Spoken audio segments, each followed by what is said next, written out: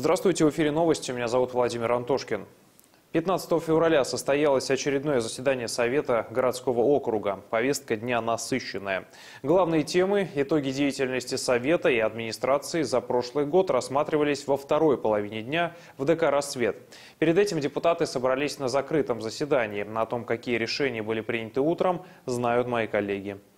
Первая часть заседания Совета городского округа проходила в конференц-зале администрации без участия общественности. Всего для принятия было вынесено пять проектов решений. Все они ранее рассматривались на депутатских комиссиях. По первому пункту повестки дня предлагалось внести изменения в решение об установлении земельного налога. Это связано с получением городом статуса территории опережающего социально-экономического развития.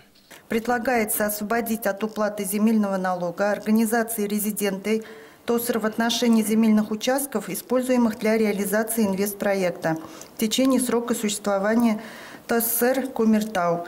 По следующему вопросу начальник финансового управления Гульнара Кучербаева выступила о необходимости внесения изменений в бюджет.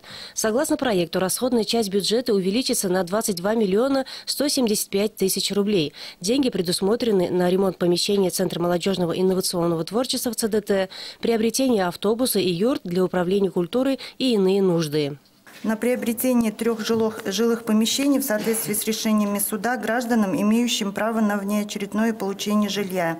Мы должны предоставить жилье до 36 квадратных метров на каждого. На сегодня стоимость одного квадратного жилья составляет 32 тысячи рублей. И стоимость трех квартир рассчитана в размере 3 миллиона 456 тысяч рублей. На софинансирование под программой обеспечения жильем молодых семей из местного бюджета 101 тысяча рублей. Также предлагается э, выделить средства на укрепление материально-технической базы и на ремонт э, зданий образовательных учреждений в размере 6 миллионов 487 тысяч рублей на укрепление материально-технической базы спорт, э, учреждений спорта, это ДЮСШ и Вымпел, 3,5 э, миллиона рублей. Еще один главных вопросов – это утверждение плана очистки дорог в зимний период на текущий год. Проект представил заместитель главы администрации Юрий Куров. Согласно плану, теперь дороги в городе Кумертау содержат семь организаций. По итогам проведенных аукционов администрация городского округа заключила в декабре 16 и январе 17 года муниципальные контракты на уборку в зимний период 17 года автомобильных дорог общего пользования, относящихся к собственности городского округа, со следующими предприятиями и организациями. МУБДОР, с обществами, с обществами ограниченной ответственности «Строй, «Стройтранс М», Куюргазинский завод нефтепромыслового оборудования, экологический форум, «Колос», «Транспортник» и «Стройдорсервис». Проект принят с дополнениями по плану очистки. Определилась и дальнейшая судьба бывшего терапевтического корпуса по адресу Лесная, 45. На сегодня он лишь частично арендуется индивидуальным предпринимателем. По решению депутатов здание будет использоваться как проект лыжероллерной трассы. Далее был объявлен перерыв в работе. 15 февраля отмечается День памяти воинов-интернационалистов. Памятные мероприятия в этот день прошли по всей стране. Кумертаусцы память земляков, погибших в афганской войне, почтили в Парке Победы. Там впервые состоялся митинг, посвященный Дню памяти воинов-интернационалистов. 15 февраля в России отметили 28-ю годовщину вывода советских войск из Республики Афганистан. Эта дата отмечается в нашей стране как День памяти россиянов, исполнявших служебный долг за пределами Отечества. В среду около памятника прошел митинг. У памятного знака погибшим солдатам выходцев из нашего города собрались их родственники, братья по оружию, первые лица города, представители организаций и жители города, чтобы почтить память тех, кто погиб вдали от Родины. Сказать благодарности тем, кто с честью выполнил свой интернациональный долг. Открыл митинг начальник отдела военного комиссариата Рамиль Харудинов своей вступительной речью отметил, что кумертаусцы всегда будут помнить ребят, которые 28 лет назад не побоялись отдать свою жизнь, выполняя свой интернациональный долг. Вечная память тем, кто до конца выполнил свой интернациональный долг, но не дожил до этого светлого дня. Митинг, посвященный Дню памяти о россиянах, исполнивших служебный долг за пределами Отечества объявляется открытым. В память о молодых ребятах, не вернувшихся с войны, во время митинга почтили минутой молчания. Глава администрации городского округа Борис Беляев, выступая перед собравшимися, отметил мужество и героизм ребят, исполнявших свой воинский долг в горячих точках. И что для всех воинов-интернационалистов реализуется проект Музея боевой славы. Этот мемориал был создан буквально полгода назад.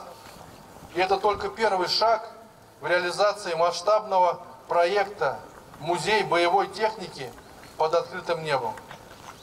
В течение ближайшего времени здесь будут размещены порядка 15 единиц боевой техники и составят собой целый мемориальный комплекс Парка Победы. Вспоминая погибших, мы не должны забывать и о воинах, вернувшихся домой живыми. Ветераны горячих точек должны чувствовать поддержку, также отметил глава администрации.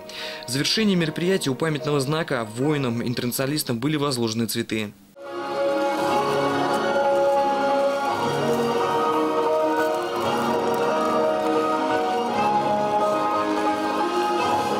Константин Меркушев, Владимир Кузьмин, телекомпания «Арис». Любви все возрасты покорны. Именно под таким девизом на стадионе «Шахтер» горожане отметили День Святого Валентина. Подробности в репортаже Константина Меркушева. 14 февраля по всему миру отмечают День Святого Валентина. Так звали священника, который в третьем веке, несмотря на запреты римского императора, венчал солдат и их возлюбленных. В Россию праздник пришел около 20 лет назад. В 2008 у него появился конкурент – День семьи, любви и верности, в память о православных святых Петра и Февронии. Но Валентин не теряет популярность. Большинство россиян считает себя влюбленными, и каждый третий мечтает отмечать 14 февраля. Это тот праздник, который отмечаю с детства, еще в школе пишем валентинки, так что Хороший праздник.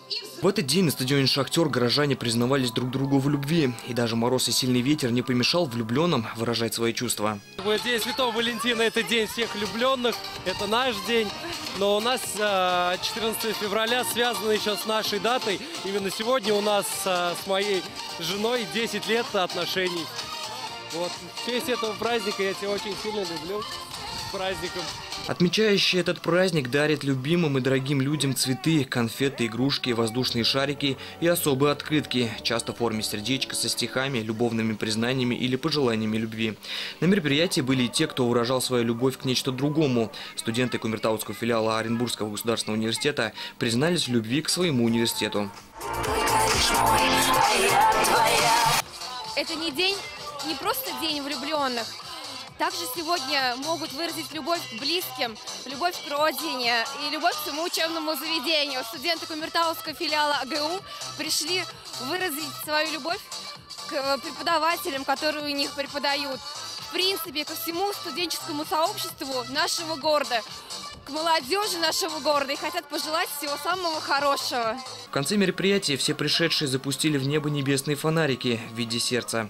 По китайскому поверью считается, что во время запуска небесного фонарика есть традиция загадывать желания. И якобы в этом случае небесный фонарик уносит с собой все плохое, открывая дорогу здоровью, богатству, успеху, любви. Три! Две!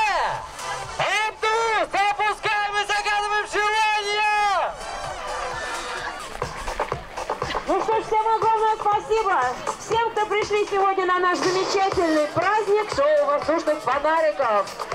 Константин Меркушев, Владимир Кузьмин, телекомпания «Арис». Это последнее сообщение выпуска. Я с вами прощаюсь. Всего доброго.